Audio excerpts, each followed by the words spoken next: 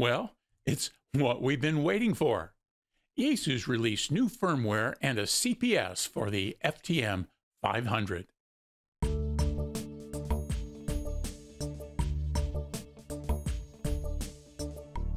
Hi, and welcome to the Gadget Talk channel, where we do reviews and how-tos on a variety of gadgets that catch my eye. In this video, we're going to do a quick how-to on how to load the latest Yaesu firmware into the FTM 500, as well as a look at Yaesu's latest CPS, the ADMS version 16. If you find this video helpful, please click the thumbs up button below the video and subscribe to the Gadget Talk channel. I really appreciate it. Yaesu recently released new firmware for the FTM 500 and its accompanying CPS not having a CPS was a pretty big deal for me and for others. While the FTM 500 is designed for mobile operations and thus faceplate entry of channel memories, not having a CPS to do setup functions was certainly a drawback. This latest firmware update not only adds some system improvements, it also allowed for the Yaesu ADMS version 16 software to talk to the radio. For those who also have earlier Yaesu mobile or digital HTs, the CPS also allows those users to import and export channels from those devices as well. Of course, the CPS also allows you to set various radio functions and settings, along with adding channels using your computer's keyboard instead of tapping on the various buttons and knobs that are on the radio's faceplate. Since I did a video a couple of months ago about upgrading the firmware in the FTM 500 mobile transceiver, I'll go through that process fairly quickly. Feel free to refer back to the previous video for a more in-depth explanation. We'll also take a quick look at the CPS. Let's start by upgrading the firmware. So let's go through the process of updating the firmware. I'm going to go through this fairly quickly. Uh, my previous video, as I said, has got a more in-depth explanation. However, uh, we'll go through the main parts, and I may edit out some of the time that the radio is loading and unloading software just to make the video shorter. So the first thing we're going to do is we're going to go and see what software the radio currently has, and to do that, we're going to press the function, and as it happens, it comes up with the software version. So I'm going to press function again and it tells me that my main version is 1.06, sub is 1.02, and my DSP version is 7.2. The new firmware has got higher numbers than that, so I know that I'm going to have to reset. So let me back out of this. So the next step we're going to do is format our SD card. I've got the SD card in the device, and we want to format it there so that it lays out some file structure that it's expecting later on in the upgrade process. So again, we're going to press and hold the function key it happened to come up on format. So we're going to press it again. We're going to go to OK. And we're going to format the card. And then I'll edit out some of this waiting. It's now complete. So that's good. The next thing we're going to do is we're going to go up two steps to 107 and we're going to back up the radio onto the card. There's backup, so we're going to select backup. We're going to write to the SD card and we're going to write all. We'll hit OK. So we'll save the information. It's complete. And so at this point, we're going to back out, take the SD card out because we're ready to move to our computer. So at this point, we're going to go to the Yaesu website, which you see displayed right here. And we're going to uh, go up to the products tab. We're going to go to VHF and UHF mobile transceivers. We're going to go here where it says new for the FT500DR. Click on that. And then we've got that page with the information about that. We're going to go to Files. Now at the bottom of the list, it shows our software. And in this case, we have a couple of different possibilities in terms of software. So you want to make sure you download the right one. So what we're looking for now is the USA firmware and it's dated 2312, 2312, okay? And then the other thing we're going to be looking for is the programming software right here. And so we're going to download both of these programs and then we're going to download the 2312.zip right here, firmware for the USA. And so we're going to go and retrieve them right now. So now I've put the two files, zip files that I had in folders in another folder on my radio that I keep track of my various radio firmware and documents. And so here you can see the firmware update for 2023-12, which interestingly enough is an update that's just a couple of days old. When I planned this video, it was on uh, 2023-11. So updates are coming. And in this case, the change was here in this sub SFL file. It's now version V0111 versus C0110, which it was the other day. So what I'm going to do is click here, control click, control click, and then I'm going to scroll down and I'm going to drop it on my FT500D folder right down here. Those are copied. And then now when I look at it, I see that these are right there under the FT500D, which is exactly what the picture showed in the installation manual. So I don't have them in any of these subfolders. So at this point, I've got the SD card back into the radio, and as the instructions call for, I'm going to press the display and the power on button at the same time uh, to enter the firmware update mode. So with those buttons firmly pushed, I've got the update mode listed and the update is illuminated. And instead of pushing this knob, the function knob, I'm going to push the main tuning knob here. So we'll press that.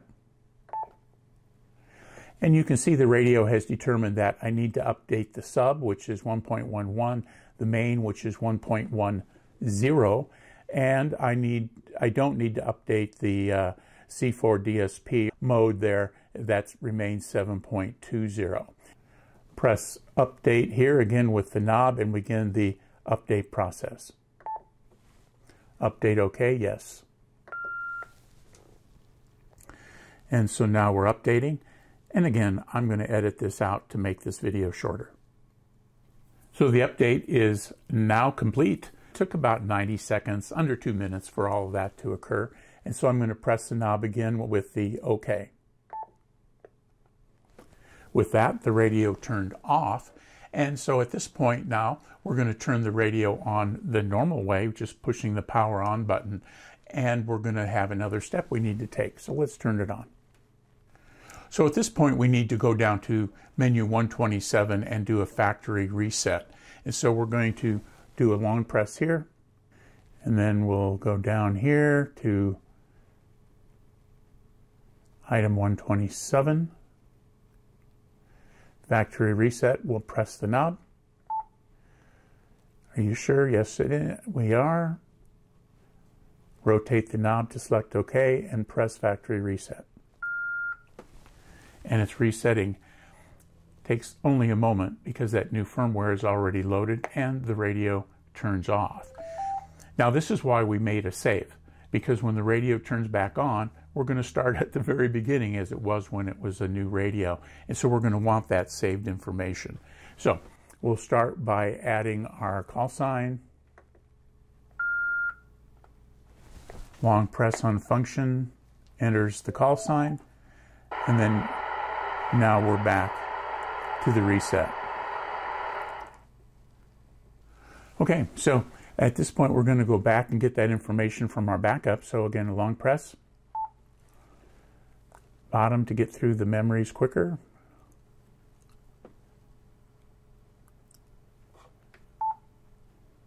Read from the SD card. We want all. That's the one we had, so we're going to pick it. Again, all and OK. It's complete.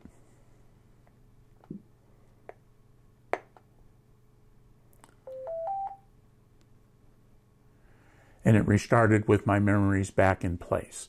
So that's the process of updating the firmware. With the firmware updated, Let's do a quick tour of the ADMS version 16 software. As we get started, it's important to note that with the firmware upgrade, you can transfer data back and forth between your computer and radio using the SD card. That means you can save a few bucks by not buying a programming cable. Of course, you can still use a cable if you prefer. So here's the display screen for the ADMS 16 software, and it's similar to other Yaesu programming software. What I've done is I unzipped the folder that I downloaded. It had an executable for setup, so I ran the setup. I had it installed on my computer. And now it's just a matter of clicking a, a link on my computer desktop to open this when I need to use it. Now to begin with, I'm just do a quick tour here. We've got File, Open, New, Close, and then these are some really interesting features of this software, and it allows you then to import from the FTM 100 to 400, export to it, import and export from the FT2D handy talkie, and import and export from the FT5D. So if you have one of these already, you can move that programming into the FTM 500 really pretty easily by using these import, and, and of course vice versa. Uh, you can do some printing and then of course exit in the editing, uh, you can cut, copy, and paste, which is not often found in these factory CPSs. You can do some searching. You can go to channels. You can delete channels and all that kind of fun stuff. In the communications, we can get data. We can send data. And then what we're going to be doing today is we're going to be using the SD card to get our data uh, as opposed to a programming cable. We need to set our COM port as we do with most CPSs if we're using a cable so the software knows what COM port to talk to the radio on. In the settings, we've got our toolbar and status bar set, which is right here. And then we can also call up the settings display, which I'll do in a minute. We've got windows, we can tile or tile left or right, up and down, or cascade, and then we've got the version. So let's get started first by uh, importing the information from the radio. Now I don't have a lot in it, but I have my settings set. I've got a couple of channels, so it'll give us an opportunity. So I've turned off the radio. I've taken the SD card out of the radio, put it in my computer. So at this point, I'm going to the communications tab and I'm going to go get the data from the SD card and I want all of it because I want to see what the settings are as well. So I'll click all. It's going to take me down to the drive where I have that. All of this is in my FTM 500. It's in the backup folder. And so we're going to click on that file and click open. It's complete. It took just an instant because there's not much in it. And so here you can see I've got my channels in there. And then you can add channels easily just by typing into these various boxes and then putting in the appropriate information. Now along the top of this, there are also uh, a couple of tabs. So this is our primary memory uh, system. I don't have anything in there. Here's VFOA, VFOB. That information is listed here. Home channel information is all set here, so we can make use of that, make changes as we might desire, and then home channel B. So all of that, if you're not familiar with it, uh, you can read about it in the instruction guide. So those are the tabs for our channel information. Now let's go to settings. The settings information comes in and it has got just about all of the settings that are in the radio so we can make these changes. And as with the previous display, we've got some tabs so there's even more information that we can deal with. So we can do things like set the configuration for the day and time, whether we want a 12 or 24 hour clock, what our time zone is, APRS stuff. Uh, we can change things on our display in terms of the, uh, what we've got going, the compass, whether the heading's up or not. Each of these are drop downs. So heading up north or just heading up for the compass display, we can set scan information. All of that stuff that's described in the user manual for our radio is accessible here. And so it's sometimes easier to do that when you can see all the things that are related and make the changes using your mouse or your keyboard. And so here we go to the group mode in WIRES-X, and so we can assign call signs and radio IDs for the group modes if we make use of that feature.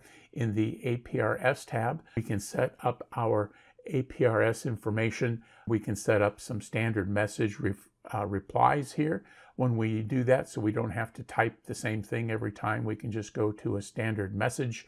We can set our ambiguity. Ambiguity just means how close the APRS is going to put you to where you actually are. The speed and course gives us an opportunity to set when the APRS triggers, if it's following you in your car, if you've got the radio mounted in your car, all of those other things that are part of APRS that we're really not going to go to much detail here. We've got our choices, wide 1 1 or wide 1 2, that gives the opportunity for how many times a, a digipeater is going to repeat uh, and so forth. So all that's in the APRS.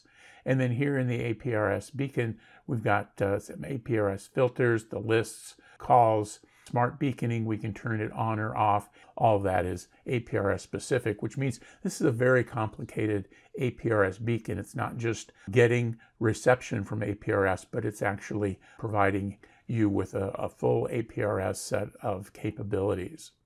Now, the user manual for this software is about 35 pages long, and that's one of the benefits of Yaesu products and, and other more expensive radios is that they're going to give you comprehensive user manuals to help you figure out and make the best use of the software.